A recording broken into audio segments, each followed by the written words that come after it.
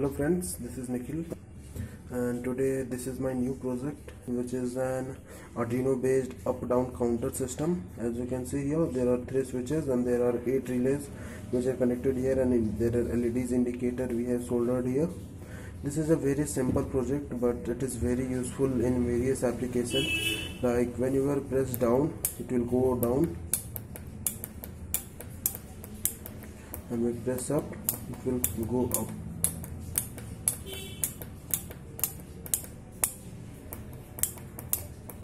and here is our reset button. We reset it goes to number one.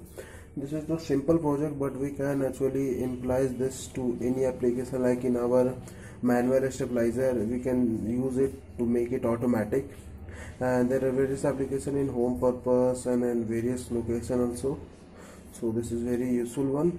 Just find out where to use it. And thank you for watching the video